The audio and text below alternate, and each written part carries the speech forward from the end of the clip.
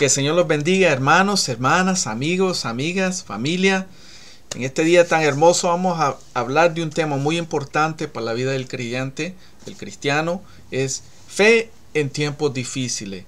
Pueden ver ahí el, tema o el versículo es en, está en Lucas 18.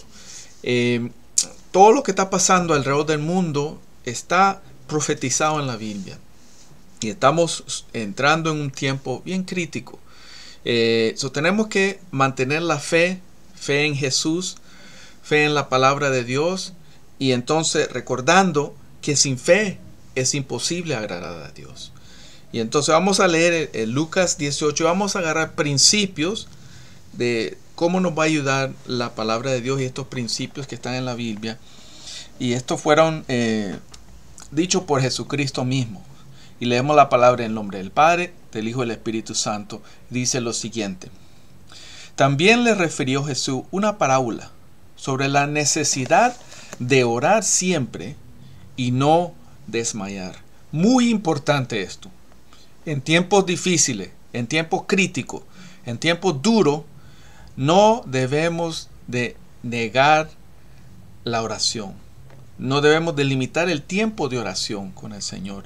Necesidad de orar siempre. Pablo lo dijo en otra parte, orar sin cesar y no desmayar. ¿Por qué? Porque en estos momentos es muy fácil desmayar. Es muy fácil olvidar de hablar con el Señor.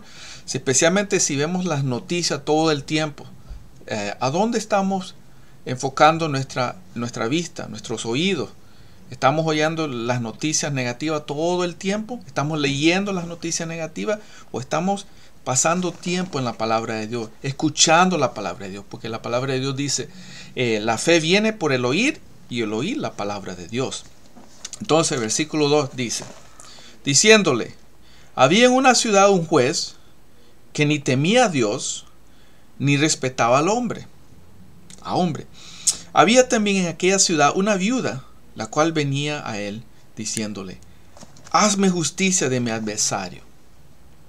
Y él no quiso por algún tiempo, pero después de esto dirigió, dijo dentro de sí, aunque no temo ni temo a Dios, ni tengo respeto a hombre, sin embargo, porque esta viuda me es molesta, le haré justicia, no sea que viendo de continuo me agote la paciencia.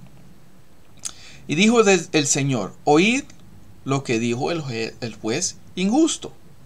¿Y acaso Dios no hará justicia a sus escogidos que claman a Él día y noche? ¿Se tardará en responderles? Aquí la clave, claman a Él día y noche. Recordemos que él comenzó diciendo la necesidad de orar siempre y no desmayar. No es una oración de bombero cuando necesitamos ayuda, no es siempre, constante. Y entonces, 8. Os digo que pronto les hará justicia, pero cuando venga el Hijo del Hombre, ¿hallará fe en la tierra? Recordando, sin fe es imposible agradar a Dios. E incluso Jesucristo, hay unas partes en la Biblia, digo, en Capernaum, me recuerdo, que ahí no pudo hacer mucho milagro por la incredulidad o la falta de fe de las personas.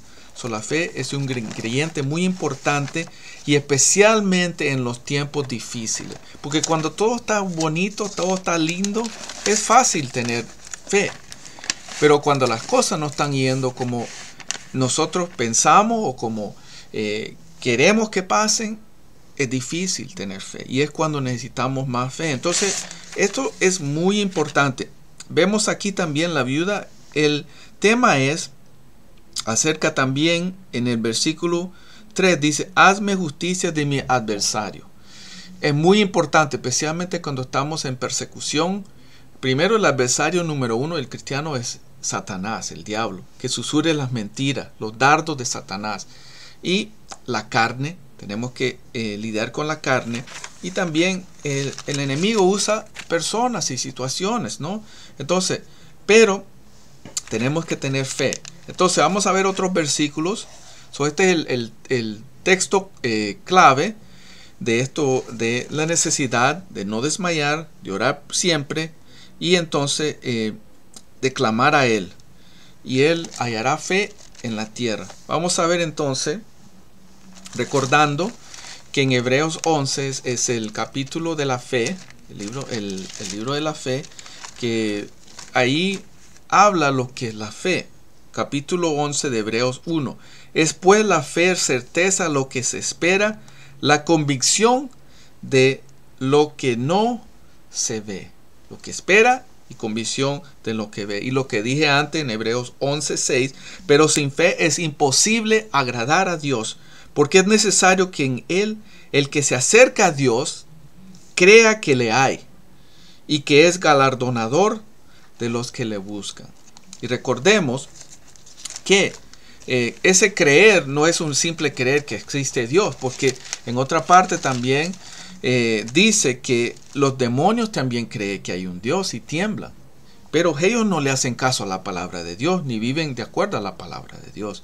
O sea, es una creencia en acción, eh, como dice Santiago, fe con obras moviéndose. Entonces, en Santiago, hablando de eso, de la fe, Santiago 1, versículo 6, dice lo siguiente, bien popular esto, bien común, que está hablando de pedirle al Señor sabiduría. El versículo 5, si alguno de vosotros tiene falta de sabiduría, pídala a Dios, el cual da a todos abundantemente y sin reproche, y le será dada. Pero pida con fe, no dudando nada, porque el que duda es semejante a la onda del mar, que es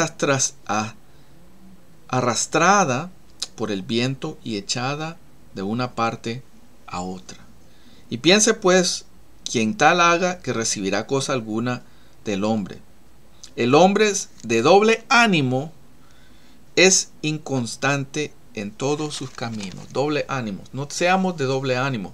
Por eso tenemos que estudiar la palabra de Dios. Por eso tenemos que saber cuáles son las promesas que Dios tiene para nosotros. Y, pararnos en esas promesas y clamarlo decirlo con la palabra y orarlo, recordarle al Señor.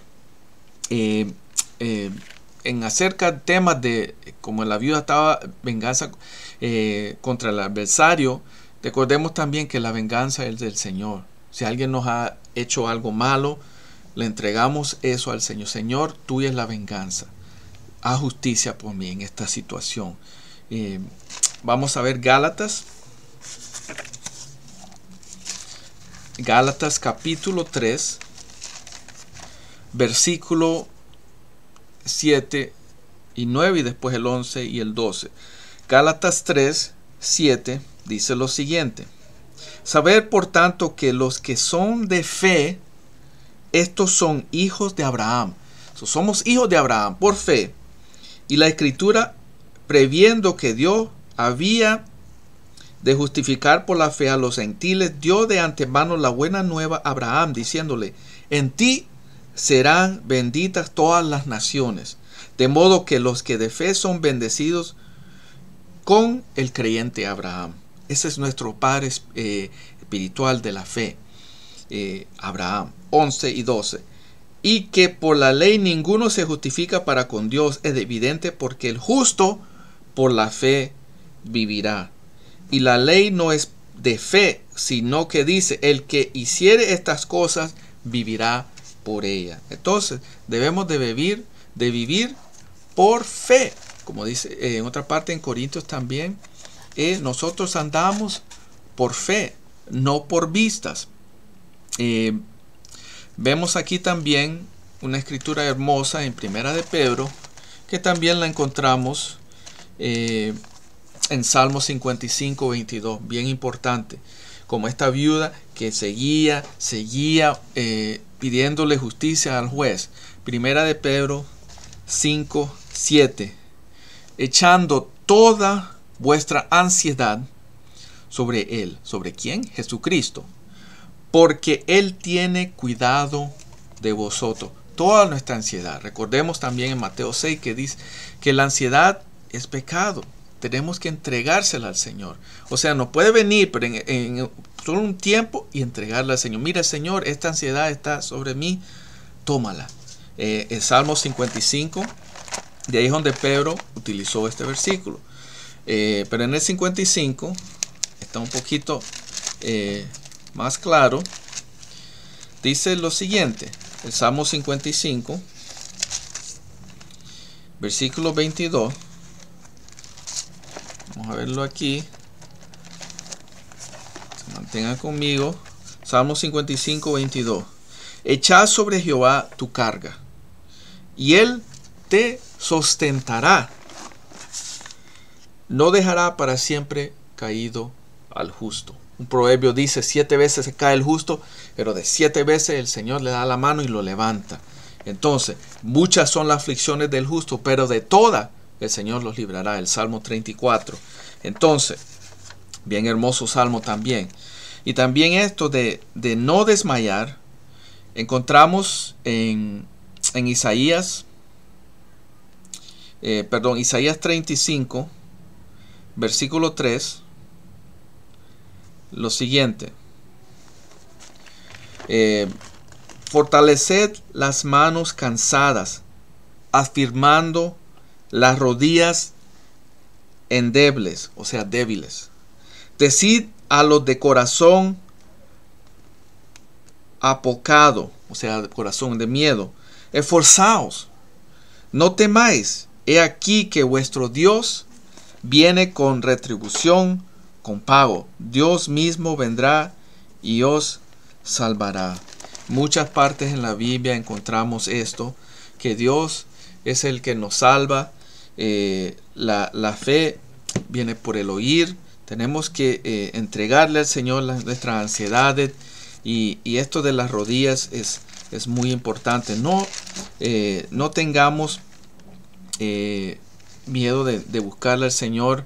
Tenemos que tener fe en estos tiempos difíciles y esto es muy importante porque sin fe es imposible agradar a Dios. Y en otra parte me recuerdo que venía eh, alguien que creo que era un Jairo en la palabra de Dios que tenía una hija enferma y él tenía poca fe. El Señor eh, le dijo, Señor, ayúdame, yo tengo mucha poca fe. Nosotros podemos pedirle al Señor eso, Señor, yo tengo poca fe. Ayúdame a tener más fe. Ayúdame a tener fe en estos momentos. Porque cuando leímos ahí en Lucas que eh, en estos momentos, al final, el Señor hallará fe en la tierra que Dios nos cuide, nos guarde y nos ayude a poder vivir por, por fe, no por vista. Vamos a orar entonces. Padre Celestial, te damos gracias por esta hermosa palabra que nos exhorta a tener fe en ti, Señor, y a ser como esta viuda, Señor Jesús, y no desmayar, Señor, y orar siempre, en todo momento, dándote gracias a ti por las cosas y entregándote las cosas, Señor Jesús, las ansiedades, los problemas, Señor, las situaciones difíciles que no tenemos fuerza muchas veces, pero en ti, Señor Jesús, está nuestra fortaleza, Señor Jesús. Ayúdanos, Señor Jesús, cada persona que escuche esta palabra, que sea fortalecida, no importa la situación, Señor. Tú eres más poderoso que cualquier situación. Tu palabra dice, mayor el que esté en nosotros que en el que esté en el mundo. Y en el nombre de Jesús, como dijo el centurión, di la palabra, Señor Jesús. Creemos y nos unimos juntos en fe, Señor, en cualquier situación que tú obres, Señor Jesús. Te damos la honra y la gloria a ti, Señor, en el nombre de Jesús. Amén. Que el Señor los bendiga, hermanos, hermanas, amigos, amigas, familia. El Señor nos ama y Él viene pronto. Maranata. Dios lo bendiga. Bendiciones.